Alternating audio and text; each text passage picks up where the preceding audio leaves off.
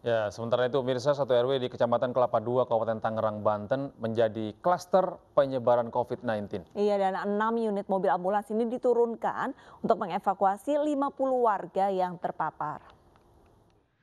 Motor siapa tuh? Motor motor. Nah, Masuk dulu sana. dua, tiga mobil ambulan, empat mobil loh. Dari video amatir warga, sejumlah tim medis dengan mobil ambulans mengevakuasi warga perumahan Sampan yang berada di RW 6 Kecamatan Kelapa II untuk dievakuasi ke hotel.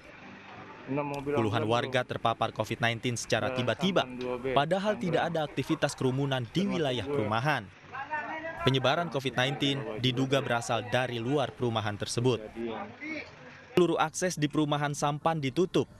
Pengurus RW hanya membuka satu akses pintu masuk guna membatasi aktivitas warga. 50 orang warga yang positif telah diungsikan ke sebuah hotel untuk menjalani isolasi. Sampai kemarin ada 50 orang. 50 orang itu terdiri dari RT 941, RT 11 9 orang. Dan saat ini sudah semuanya dibawa ke Hotel Yasmin untuk isolasi mandiri.